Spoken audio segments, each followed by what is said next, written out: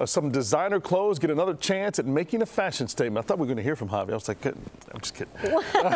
uh, this time with a cheaper price tag, your money watch is next. And it's one last ride for the bad boys for life. I am living for this, folks. We're going to have all the details on the other side of the break. I'm the definition of half man.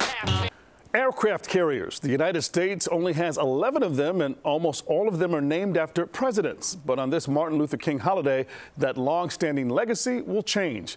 It's because of this man, Doris Miller.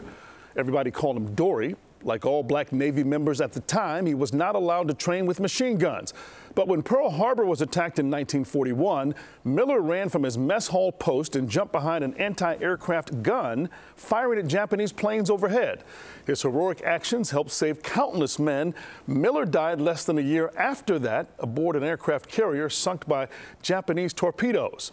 Well, today, the U.S. Navy will officially announce plans to build another aircraft carrier named in his honor the USS Miller. His family says they're overwhelmed and that it proves neither race nor rank can stop someone from performing heroic deeds. Amen. That is beautiful. Mm-hmm. And on the Money Watch, Rent the Runway. Right? Yeah, yeah. The 25th annual Screen Actors Guild Awards was last night.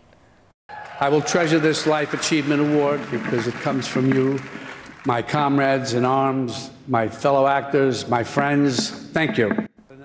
Academy Award winning actor, producer, and director Robert De Niro won the SAG Lifetime Achievement Award. De Niro's career spans over 40 years, most recently